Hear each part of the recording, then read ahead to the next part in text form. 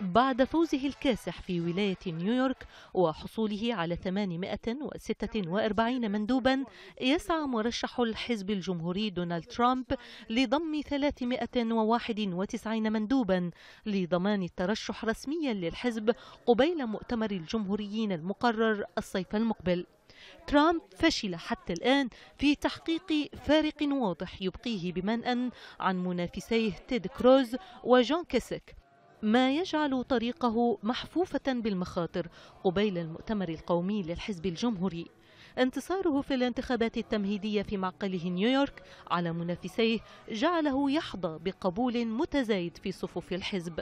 ولكن أمام ترامب مهمة كسب تأييد 1238 مندوبا يحتاجهم للفوز بترشيح الحزب.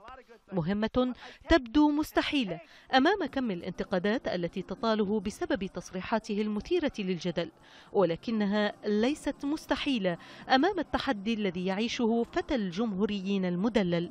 ولذلك غير رئيس حملته الانتخابية وعين بول مانورف المعروف في أوساط الجمهوريين بدبلوماسيته. وهو يستعد لتغيير صورته وخطابه الانتخابي عقب جولة انتخابات تمهيدية في عدد من ولايات الشمال الشرقي المتوقع أن يفوز فيها الأسبوع المقبل. وفي حال فشل ترامب في حشد تأييد المندوبين يجري المؤتمر العام للحزب الجمهوري تصويتا داخليا.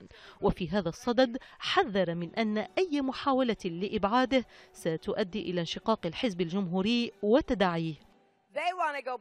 وعلى صعيد الديمقراطيين ما تزال هيلاري كلينتون تتصدر المرشحين وتستحوذ على دعم الحزب رغم استمرار بيرني ساندرز في إدارة حملة مثيرة للإعجاب لكنها خاسرة من حيث عدد المندوبين الذين سيؤهلونه للفوز برأي مراقبين.